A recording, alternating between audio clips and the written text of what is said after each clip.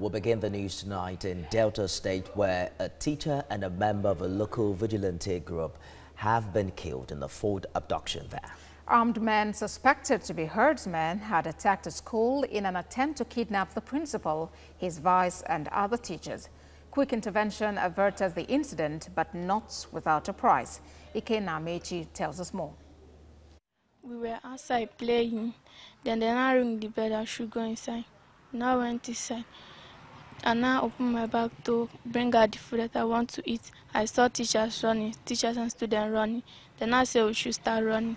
And I left my bag inside the school and run away. Still in shock, a student of Asagba Mist Secondary School recounts the events that took the life of a teacher in her school and a member of the local vigilante group whose bravery helped in the release of the principal, vice principal, and three others.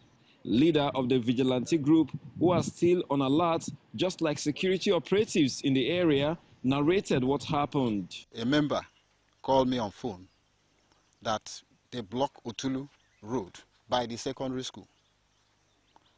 That I should mobilize vigilante to come.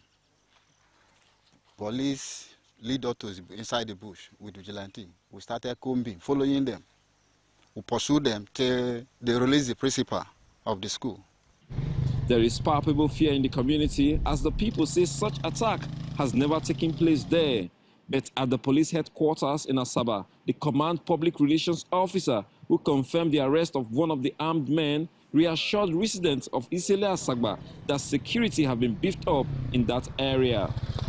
The teacher that was shot in the process before they were taken into the forest was died. That um, one of the youth was missing.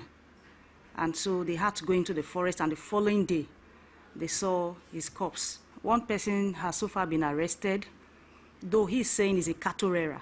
There's no need for apprehension or fear. The school has remained closed as the rescued principal, his vice, and the teachers are still recovering from the shock and parents keep their children and wards at home. Ikenna Amechi, TVC News, Isele Asagba.